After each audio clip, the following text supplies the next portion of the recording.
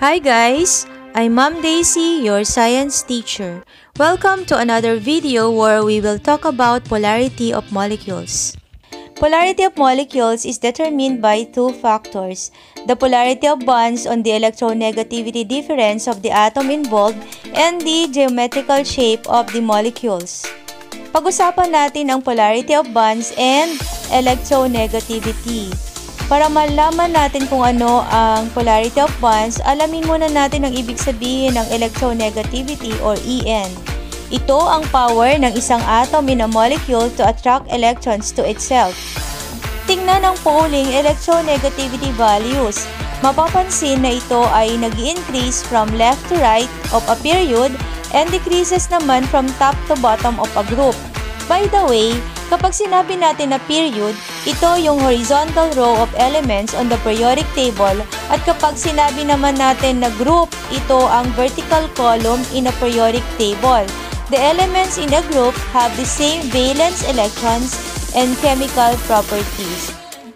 Mas mataas ang En, mas may tendency ang element na ma-attract ang electron towards itself.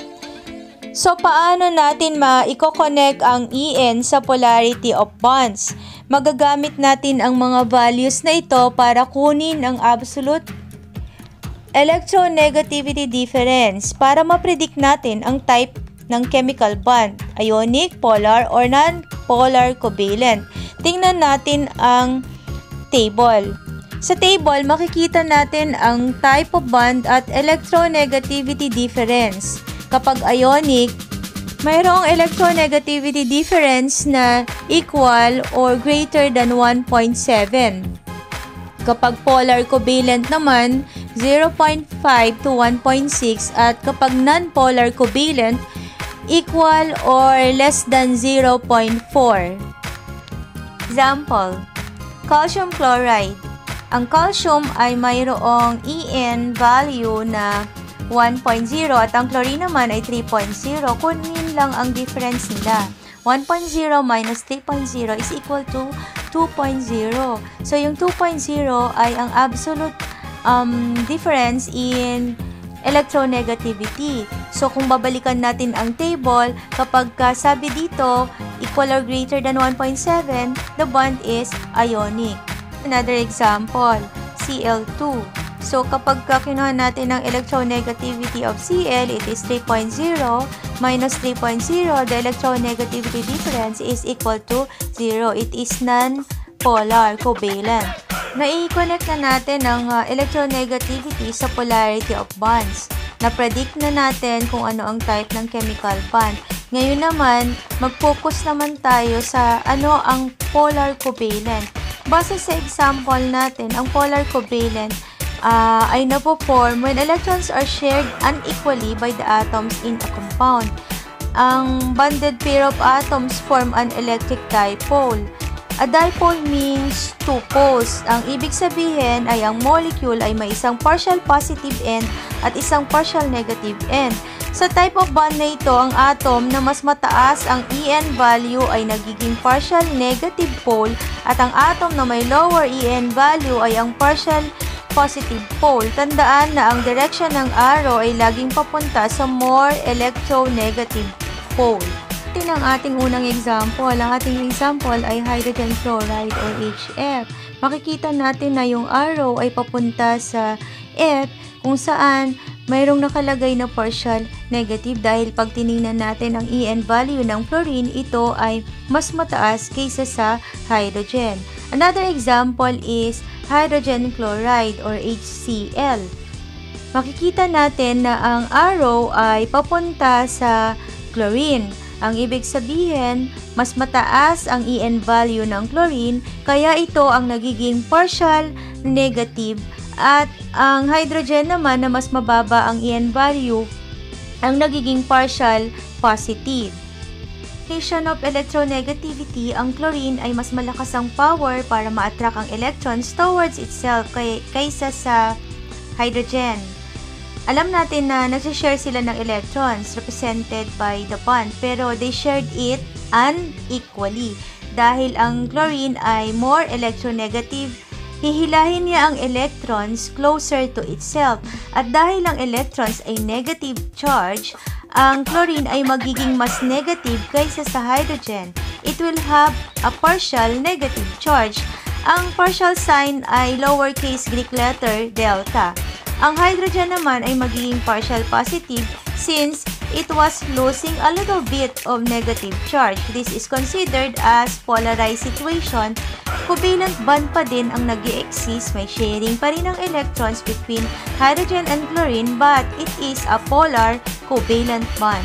Non-polar covalent naman ay may equal sharing of electrons between them. Here is the example. Cl2. Pareho silang chlorine, kaya pareho sila ng En. Kapag kinuha natin ang difference, zero ang magiging sagot. Ang ibig sabihin, hindi magkakaroon ng partial positive or partial negative.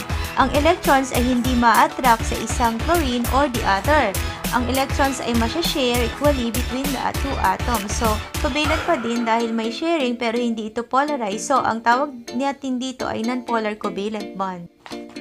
Ang ikalawang factor ay ang molecular geometry. Sa mga naipaliwanag ko kanina, madali lamang malaman ang type of polarity between the atoms that is specifically for two atoms.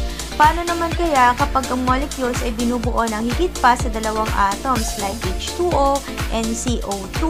Kapag ganito na polyatomic molecules, parehong i-consider ang band polarity at ang molecular shape. Matutukoy natin sa pamamagitan ng Vesper theory. Ayon dito, kailangan na ma-minimize ang repulsion between electrons in the valence shell at para mangyari ito, ang arrangement ng electrons ay pointing in opposite direction. Paano mapipredict ang shape or tinatawag din ng molecular geometry of a substance?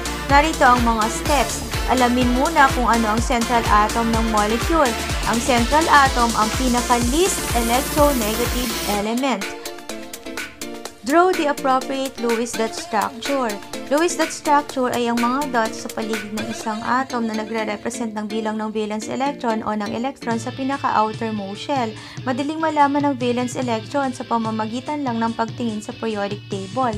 Kung ang element ay nasa group 1 sa hilaran ng hydrogen pababa, ang valence electron nito ay 1. Kung element naman ay nasa group number 17, ang valence electron naman nito ay 7.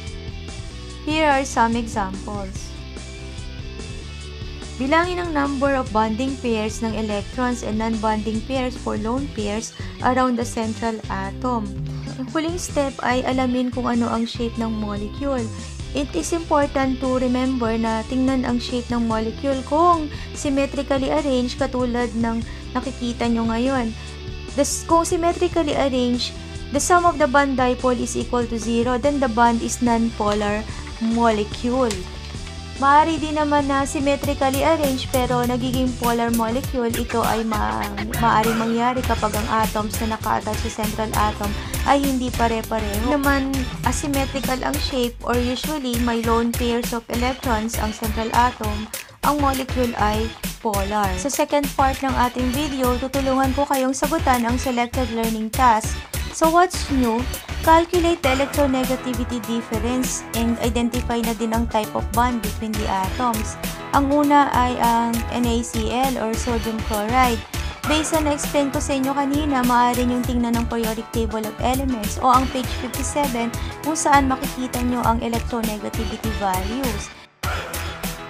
I-minus nyo lang ang electronegativity of the first atom to the second atom and kunin ang difference at tingnan dun sa table kung anong type of bond ang nag-exist. More, sagutan natin ang unang uh, molecule, ang phosphorus pentachloride. Ang first step ay alamin kung ano ang central atom.